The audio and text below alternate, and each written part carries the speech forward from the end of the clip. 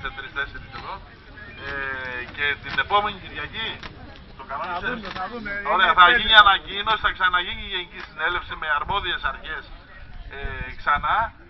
Το θέμα είναι ότι πρέπει να κινητοποιηθούμε όλοι εδώ στο Αρκτικό και πρέπει να κινητοποιήσουμε και τους ε, κατοίκους του Νοτίου και της Πάτρας δηλαδή, αφορά όλο τον κόσμο, όλη την πόλη αυτό το θέμα